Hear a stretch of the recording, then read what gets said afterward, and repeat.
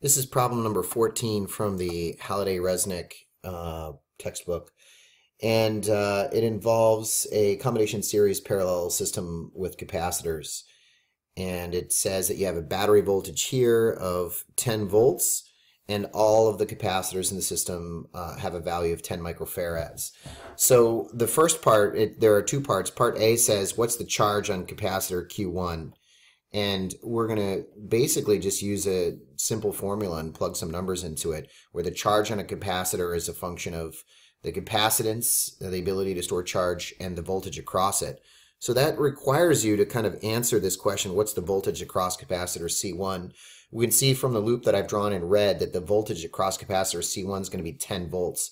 And so now I'm just going to plug in 10 microfarads for my capacitance and my 10 volts of potential difference across it, which is going to give us 1 times 10 to the minus fourth coulombs. So answering part A is pretty straightforward. You just need to recognize uh, A, which uh, formula to use, and B, being able to identify that there's a 10 volt uh, drop across capacitor plates.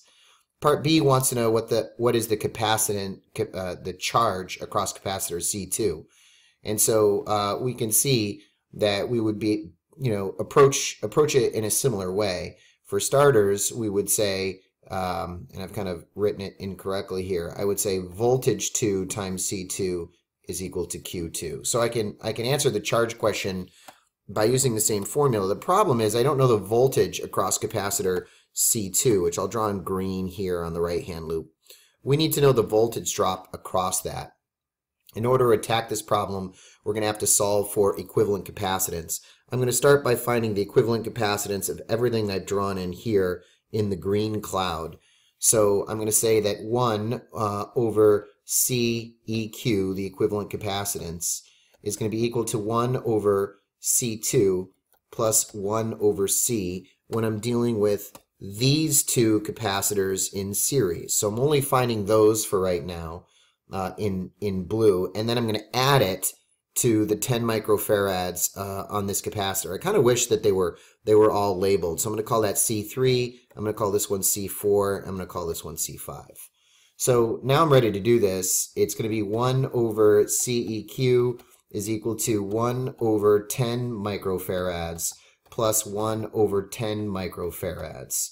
And when I do that, I'm going to get um, 2 over 10 microfarads F is equal to 1 over CEQ. So now I get 2 times CEQ, or the equivalent capacitance, is equal to 10 microfarads if I cross multiply. And then I'm going to divide both sides by 2. I get CEQ is equal to 5 microfarads. We can see that the equivalent capacitance has gone down uh, for capacitors in series, and it's gone down by half if they are the same. So now I can say, well, that's just for the, the blue box. And so now I'm going to add that to C4 because C4 is in, um, is in parallel with uh, the equivalent capacitance that I just found in the blue box. So now I could say that everything inside the green cloud is C4 plus that equivalent capacitance. Uh, that's going to give me 5 uh, microfarads plus 10 microfarads. I kind of plug these in in the wrong place, but the end result is the same, 15 microfarads. So now I know everything inside the green uh, cloud is 15 microfarads of capacitance. And I need to add it now to C5, but again, and I'll do this in uh, purple, everything inside the purple cloud is going to have an equivalent capacitance. So when I do it Again, um, I would get 1 over CEQ is equal to 1 over uh, the green cloud, which is 15 microfarads, plus 1 over 10 microfarads. That's the series capacitor C5. Uh, I'm going to have to find a least common denominator and go from there. So my least common denominator, uh, I'm going to choose uh, 30, would be 2 over 30 microfarads plus 3 over 30 microfarads, which will give me uh, 5 over 30 microfarads. I'm going to cross multiply with 1 over CQ, uh, and I get the equivalent capacitance uh, for everything in the purple cloud on the right-hand side of that parallel circuit is equal to 6 microfarads. And so now what I'm going to say is that the total charge, I'm going to go back to my formula, Q is equal to CV. So now I'm going to say that the total charge on the right-hand side is going to be equal to the equivalent capacitance that I just found, 6 microfarads times uh, 10 volts, which is the voltage drop across that equivalent capacitor on the right-hand side.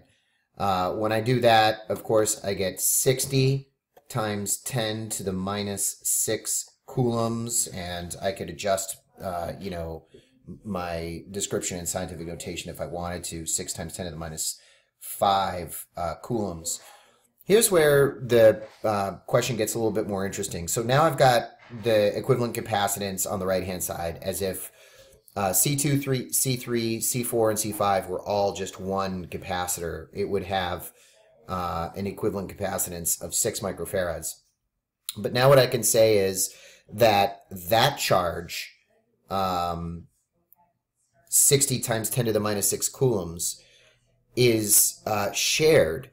Uh, let me kind of redraw this. So here's C5, and uh, this is the equivalent capacitance that I've found um, as part of the steps kind of getting there.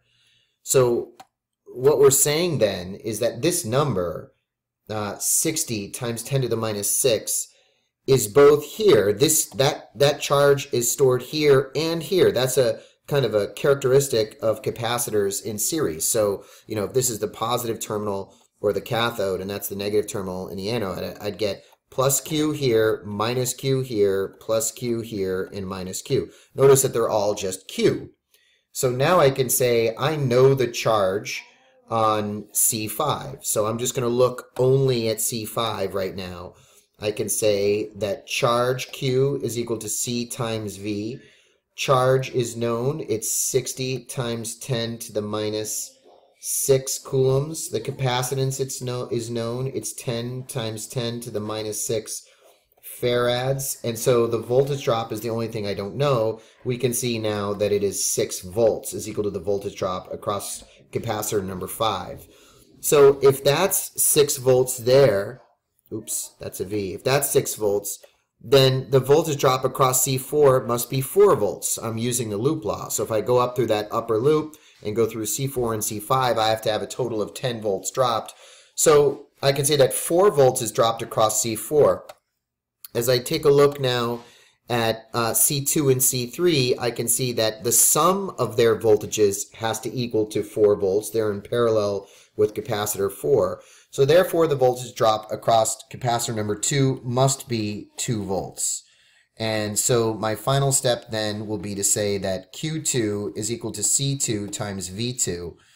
And I can just solve for Q2 by multiplying the capacitance uh, which is 10 microfarads times 2 volts.